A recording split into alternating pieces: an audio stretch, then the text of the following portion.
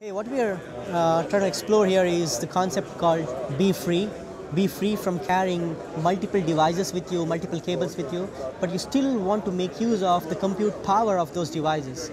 Right? Imagine you walk into a coffee shop and then I say, hey, the table in front of you can become your touch screen of the device there is a projector which is projecting the screen of a compute device which is probably in your pocket right now or which is probably located elsewhere. It could be a laptop, it could be a phone, it could be a desktop, whatever it is. Right? It's, the projector is projecting the screen. There is a camera which is looking in this projected area and it's going to send the coordinates of where I am in terms of the projected area.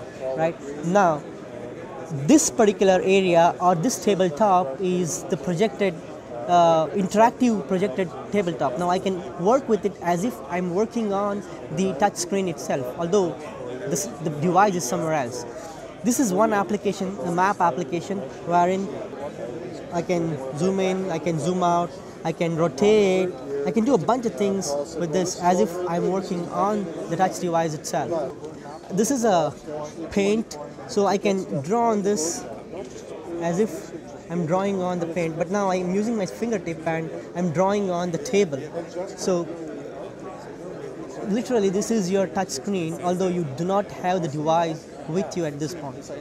You, we want to make the user experience as rich as possible and keep it as simple as possible but still you do use the same compute power of the devices that you would like to work on